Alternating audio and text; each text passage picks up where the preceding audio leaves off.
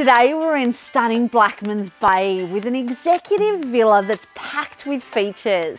Let's take a look.